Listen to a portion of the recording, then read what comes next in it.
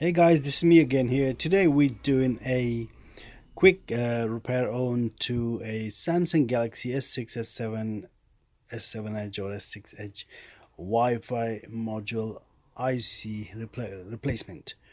Basically, the the the IC on this uh, motherboard has gone.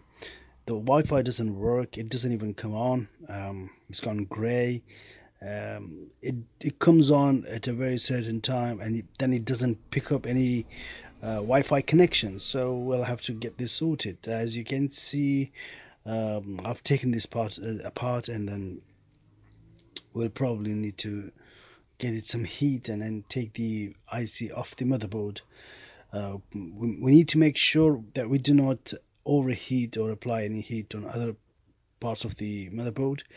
So gently apply heat on this IC would do the job and then probably clean out the the connection pads um, if needed apply some more uh, solder pads on it. If not that's completely fine. So once we took it off we need to put the replacement IC on top of it and hold some pressure on it and apply heat until it's completely settled down. So once it's set down properly and completely we need to leave the the motherboard for about 20 minutes or half an hour to completely cool down and then we can just uh, install uh, back into the phone and uh, see if the Wi-Fi did work. If it didn't work for some reason, you probably haven't done it probably uh, properly or high.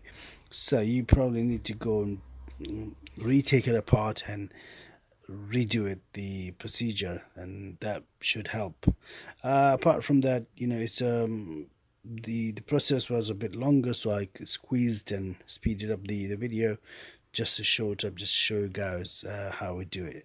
So thank you very much guys everyone watching for this video. Uh, please subscribe. So i'll come up with more videos. And for the next time take care